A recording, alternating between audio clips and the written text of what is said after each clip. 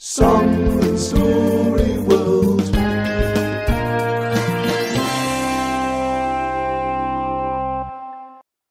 Hello, Dave Corbett here again with part two of the video of how I make my podcasts, or at least one, uh, Three Little Pigs. Little pigs. So th- there's one thing I need to clear up. When I talked last time about the keyboard, I said I was pressing things on the keyboard. There are two sorts of keyboard, of course. One is the computer keyboard, and the other is the keyboard I play to make the music. Um, so I'll try and be a bit more clear about what which one I'm talking about next time, but um, we'll see what happens anyway. Here we go. So let's have a quick recap.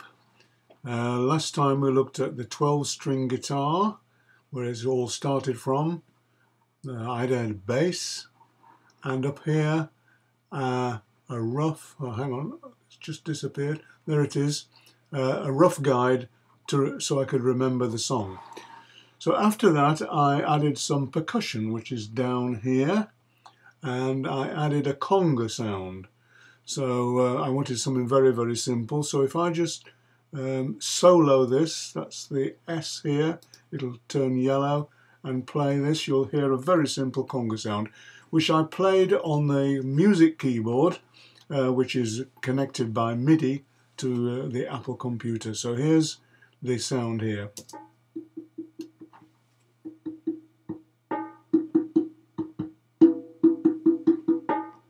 Very, very simple. Uh, after a little while, um, I put on this electric piano sound. I'll solo this, solo that one. That just goes uh, a part of the song. Da-da-da-da-da. So that come that will come here.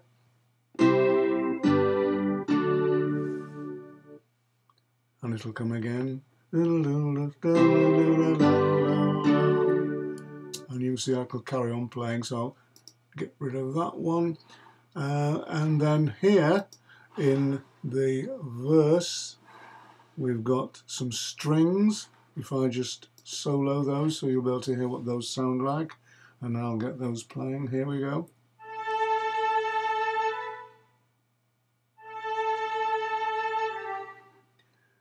Here in the second part of the verse, we've got some pizzicato strings and a harp. I'll join all these together. I'll just lasso those and get rid of that one.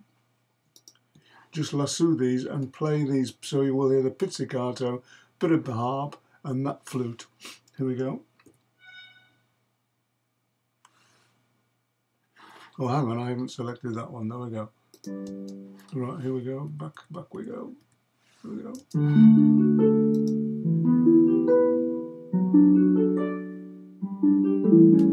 Oh, I still didn't have it on. I'll play it again. And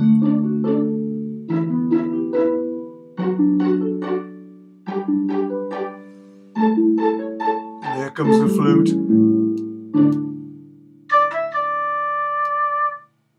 So that's those. Uh, right, I'll just unselect all these which have been soloed.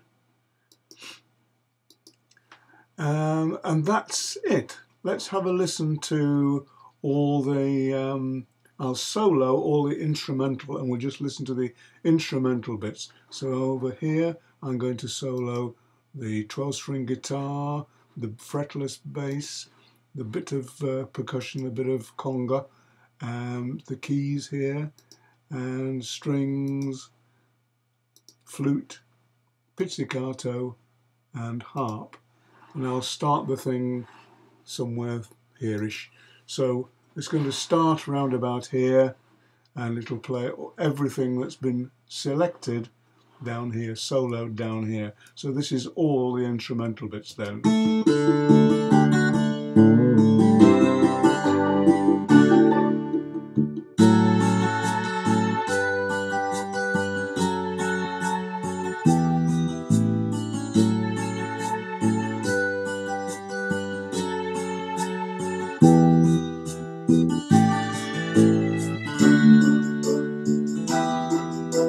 Oh, there's a bit of tambourine in there as well.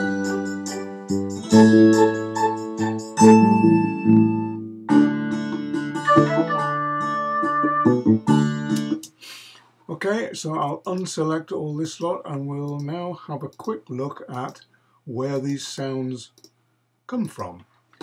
So for instance, we've got a, let's look at this electric bass here. The sound of course is inside the Apple Mac computer and it's all digital information. There is, uh, we're not recording any actual sound, we're recording digital information uh, which will then be played back to make a sound. So if I go to the bass here and I go to down here, now these strips here are what uh, various instruments are. So down here we can see that this strip here is to do with the bass, which is there. This is the output, that's the overall output. So let me just solo the bass for a moment. So soloed the bass and I'll start us off using the computer keyboard, just play anything really. So there's the bass and you can see this level down here. That's the overall outlet output. This is just the bass output so I can, this here I can adjust the sound of the bass. If I add another sound here, I'll put in the 12 string guitar, solo that as well. And now I can use this, that will control the bass and the guitar. But because the bass is selected, this channel here is just the bass. If I select the 12 string guitar, this channel here is just the guitar. Stop it. Okay, let's just have a quick look at where these sounds are. So this is channel here is now I've set for the bass because I've got the bass track selected. And this thing here, EXS24, it's what's called a sampler and that will take any sound that you put into it and turn it into digital information which you can then turn back into a sound later on. So if I double click this EXS24, this comes up, which I can move around. Let me put it down here. And we can see here, I've got fretless electric bass selected. I could actually click that and then this will give me a whole pile of different sounds that I could use. I've got acoustic piano sounds, so instead of having the bass playing that, I could have an acoustic piano playing it. Uh, I could have different basses, acoustic bass, electric bass, synthesizer bass, all these are different sorts of sounds of a bass. Drums and percussion, so if I go to the drums and percussion here, I've got acoustic drum kits, electronic drum kits, single drums, kicks, snares, toms, triangles, and then I've got keyboards. Oh, there's no end of stuff. Synthesizer sounds, pop strings, pop horns, orchestral. Uh, down here, I've got something called ESQ1. Now, once upon a time, I had a synthesizer called an ESQ1. I got rid of it uh, and got a different synthesizer, but just recently, within the last few months, I thought it would be nice to have some of those ESQ sounds back. So I bought some information, digital information, which gives me some of these ESQ sounds that I once had. They once were a big keyboard, now they're just digital information inside my computer. Korg 01W that was one of the best things I ever had, a synthesizer. Uh, and again here, I've got all these things. In fact, let's choose just one of them. I'll choose this one up here. It's called a marimba. No special reason I'm choosing that. But if I just select that marimba by clicking on it, click. Now this has changed now, look, to marimba. So if I come out of here and go to this track, which still says fretless electric bass, but actually it's now a marimba. So if I solo it, and play it, let me just play it from anywhere, instead of it'll play the same notes as the electric bass was playing, but now it'll sound like a bit like a marimba. I'll turn the volume a bit.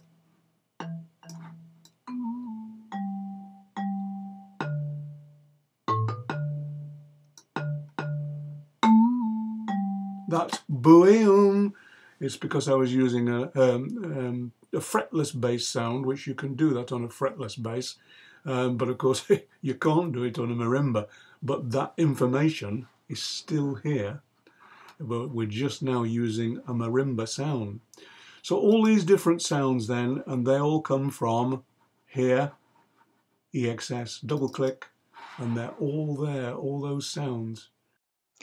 So we'll leave it at that with the instrumentals and next time we'll have a look at the vocals and perhaps I, how I treat the vocals like a bit of reverb or something like that. Now, if you have any ideas about these podcasts, if there's anything you'd like me to try and explain or go through, anything at all, please let me know. And I'm going to try to put on uh, uh, an address, an email address at the bottom of this screen where you can contact me. But anyway, it's bewdley37 at gmail.com. Bewdley is a place where I live, B E W D L E Y, bewdley37 at gmail.com. And I would love to hear from you with any constructive comments that you might have. Until next time, bye bye.